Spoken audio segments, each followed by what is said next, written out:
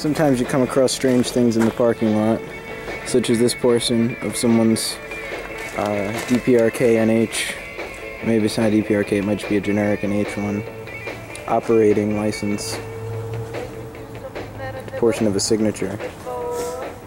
I'm gonna put it in the snow at the base of this meter. Here, the sweet and sour sauce.